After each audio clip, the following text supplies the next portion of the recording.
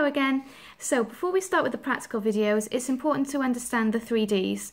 So the three Ds are, stand for distraction, duration and distance.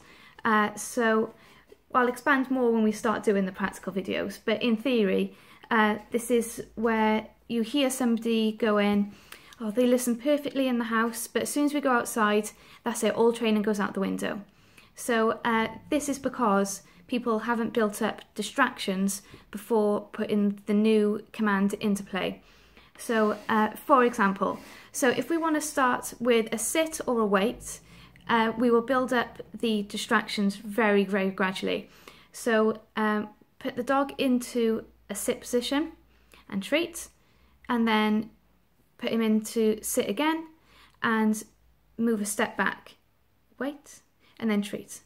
And then uh, get him to sit again, move another step back and wait a bit longer and treat. And once he's got that down to a T, we can then start adding in the distractions, which is key. Uh, so we can either turn the telly on or add, um, put noise onto the laptop, anything that he'll he's likely to hear outside. Uh, traffic, children, or even fireworks, doorbells, anything really.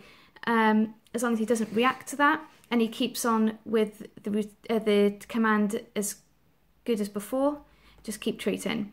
And then we'll build up to going outside so we can try next in the garden, then maybe on the front doorstep where he's likely to encounter more people walking past, um, then into a quiet park, and then into a busier park, and eventually uh, into uh, somewhere very, very noisy with lots of children, lots of ball games going around, lots of other dogs, all that sort of stuff.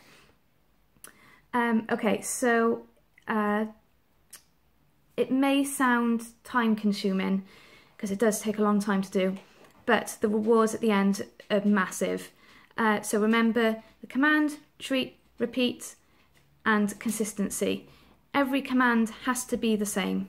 Uh, it's just too confusing otherwise, and they they won't understand it and it'll take twice as long for them to learn. Just consistency all the time. Right, that's it for the 3Ds and I shall see you in the next video.